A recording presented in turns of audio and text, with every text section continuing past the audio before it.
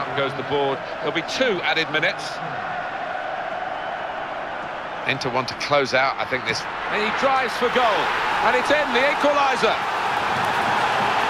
Didn't think he had time for another touch of the ball. He just hit it. Yeah, and I tell you what, it takes an awful lot of confidence to take on that shot. So many would take a touch, and then the chance is gone. Well, you have to say that's great accuracy of the strike because the way he's hit that just under the bar, the keeper had no chance.